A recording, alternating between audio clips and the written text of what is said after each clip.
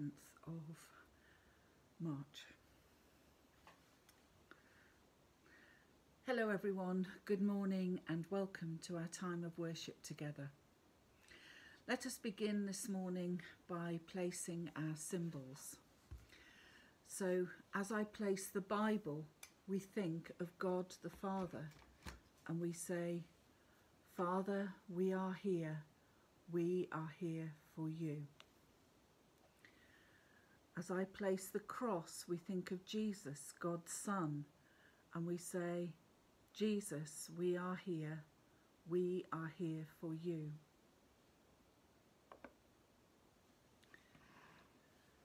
And as I light the candle, we think of God the Holy Spirit, and we say, Holy Spirit, we are here. We are here for you.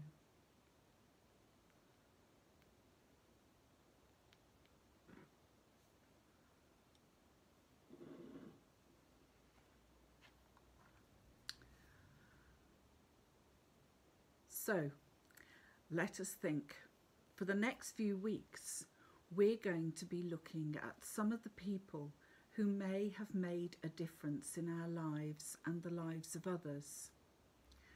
Now, today I'm thinking of someone really special. I'm thinking about the Queen, Queen Elizabeth II. Now, this year is a very special year. It's the year of her Platinum Jubilee. Now that's 70 years on the throne as Queen. Wow, that's incredible, isn't it? And we will be having a special day, a special celebration in our half term in May and June when we think about these particular special times. So there will be an opportunity to find out more. But let me give you a brief outline. Princess Elizabeth, as she was, she was born on April the 21st in 1926. That's quite a long time ago. 95 years old she is. Now her father became King George VI and he died very suddenly actually on February the 6th in 1952. And that meant that Princess Elizabeth had succeeded to the throne. Queen Elizabeth, as she was, was just 25 years old. She was a, a young wife. She was a mother to Prince Charles and Princess, Princess Anne. And it must have been really, really difficult. The Queen is the longest reigning and the oldest monarch in all time and this year, well, soon, in April, it will be her 96th birthday. Just think about that. Do you know anybody else who's coming up to a 96th birthday? Do you know someone who's even older? That's incredible. So, why is the Queen special and why should we celebrate her Platinum Jubilee? Well, for me, the Queen the Queen is really special and her work as Queen is individual. She sees her whole life as a life that's been given to public service, to voluntary service. And even now, at 95 years old, she's still working. Now, there aren't many 95 year olds who are doing that, are there? She works for over 600 charities, and some of those are big international charities, and others are quite small, but they have a special meaning to her. Now, when the Queen was just 21 years old, she said some very special words, and I'm going to read them to you now. She said, I declare before you all that my whole life, whether it be long or short, shall be devoted to your service. But I shall not have the strength to carry out this resolution alone, unless you join in it with me, as I now invite you to do. I know that your support will be unfailingly given. God help me to make good my vow, and God bless all of you who are willing to share in it. Wow, what a promise that whether her life is long or short, she will be devoted to the service of her country and her people. That's me and you. So she said that when she was just 21 years old. And then she said a few words at her coronation, which were six years later. And this is what she said on her coronation. That's when she got her crown and was formally made into our queen. These are her words. When I spoke to you last, I asked you all, whatever your religion, to pray for me on the day of my coronation, to pray that God would give me the wisdom and the strength to carry out the promises that I would then be making. I have been uplifted and sustained by the knowledge that your thoughts and prayers were with me. That seems amazing to me.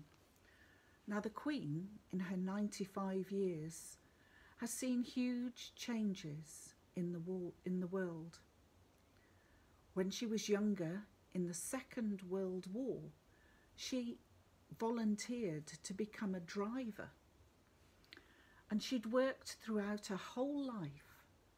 She's the mother of four children, a grandmother and a great grandmother. And she's the head of state. And she's also the head of the Church of England. She continues to play an important part in the laws of our country and she's sovereign over 14 different countries and the head of the Commonwealth. In fact, this week the Queen will be marking the Commonwealth Day when countries from within the Commonwealth get together and celebrate. Now, although being a queen may seem easy and a luxury even, imagine all those precious jewels, diamonds, anything you want at any time. I still don't think I'd like to be queen. Lots of people want your time. Lots of people to shake hands with, to smile at, and to stand and meet. And do you know, I like to be able to make my own toast and beans on toast and put my feet up sometimes. But I bet that's not something the Queen does. I don't know. And for me, the worst bit would be having a camera stuck in your face all the time. Can you imagine watching everything you do? Every sneeze, every little twitch. Oh, goodness. Anyway, being a queen is not for me, so it's a good job I'm not a princess. But this year, as we plan to celebrate the Queen's Platinum Jubilee, I'd like you to think how special that celebration will be. The Queen has devoted herself to service, to serving her country and her people. What do you think might be good and not so good about being a queen or a king?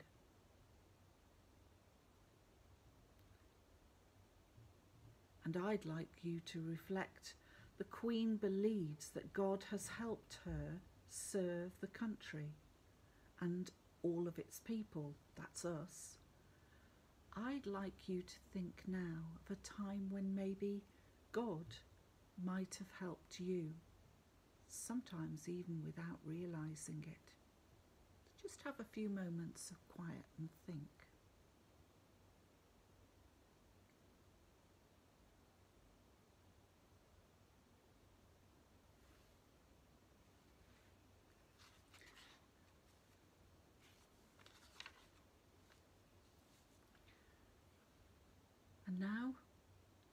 Time where I invite you to join me in prayer.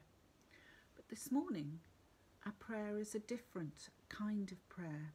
I'm going to read just two sentences to, from the Psalm, a psalm that King David wrote in the Old Testament, and it's Psalm 121. I lift up my eyes to the hills. From where is my help to come? My help comes from the Lord, the Maker of heaven and earth.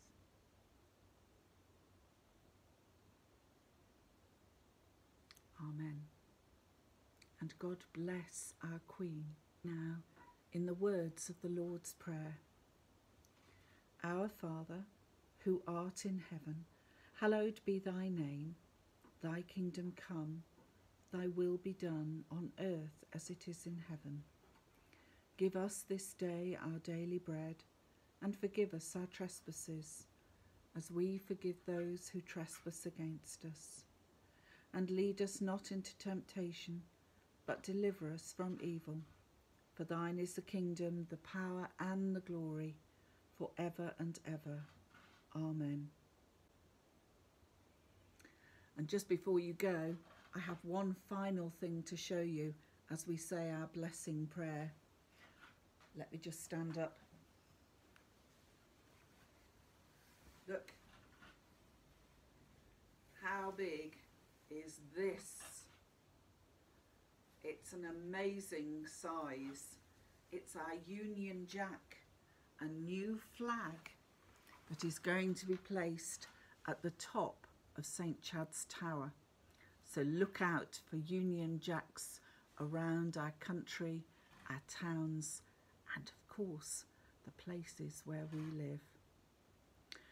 Father, as we go, Jesus, as we go, Holy Spirit, as we go, bless us all as we go. Amen. Thank you.